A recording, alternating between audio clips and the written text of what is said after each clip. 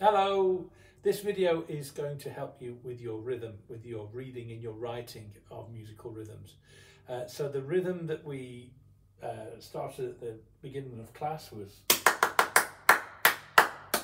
and then that was broken down into well we can have cappuccino coffee coffee tea with the start of the word coinciding with the beat so if the beat was one two three four cappuccino coffee coffee tea and then it's together with a beat right so um, improving rhythmic literacy even using just those three different types of crotchet the quavers and the semi-quavers, you have got a whole bunch of different options, right?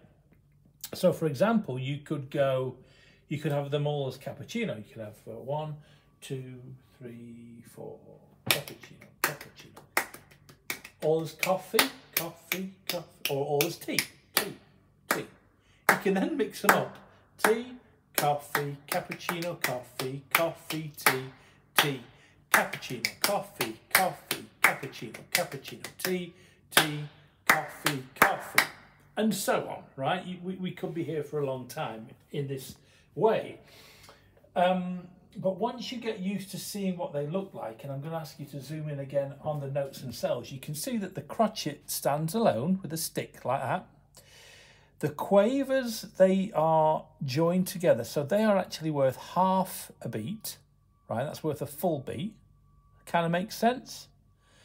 And so these are each worth, that's right, a quarter of a beat, all right? So um,